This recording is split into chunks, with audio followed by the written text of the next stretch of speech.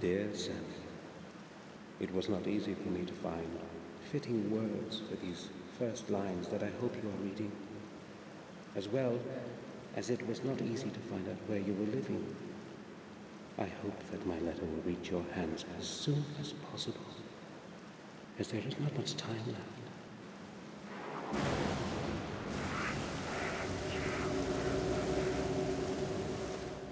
Since your departure, I have contributed all my efforts and endless hours of sleepless nights looking for the truth about our family.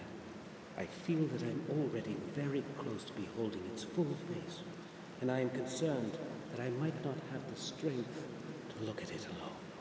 Therefore, I am turning to you, Samuel, for I know that you will hear out my plea.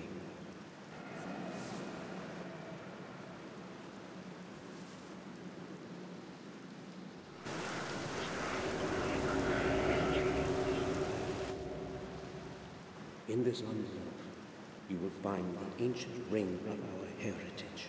It is very important that you always have it with you.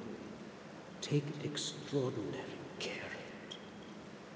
Please return to our Amana and help me.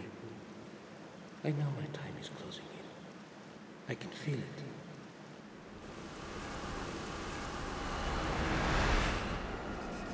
I am afraid